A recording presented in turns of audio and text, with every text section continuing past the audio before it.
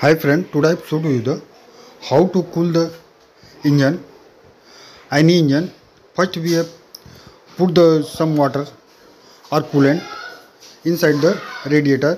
After that, when the engine will be running, that time coolant will be sucked by the radiator and uh, sent to through the cylinder liner as well as sleeve which has been fitted in the engine side and after that this will be cooling and going up to the cylinder head for cooling the all the sleeves of the cylinder head. And after that it will be going to the radiator side.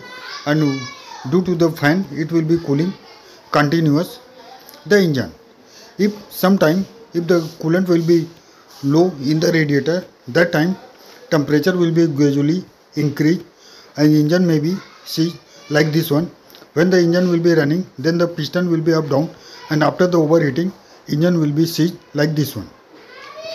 If you like this video please subscribe my channel and share to your friends colleagues and technician for taking the complete knowledge of the uh, cooling of the engine